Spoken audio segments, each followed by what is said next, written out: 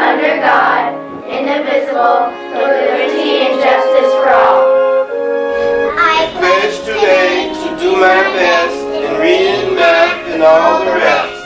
I promise to obey the rules in my class and in my school. I'll respect myself and others too.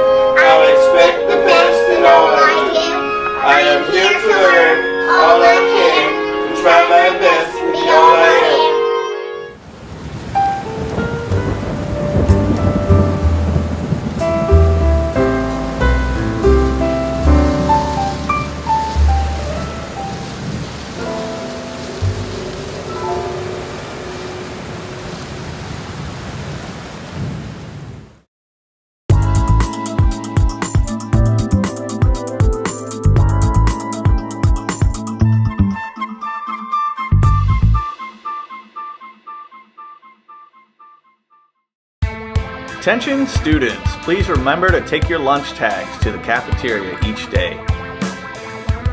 Teachers who would like to donate to the building fund, please see Mrs. Byers.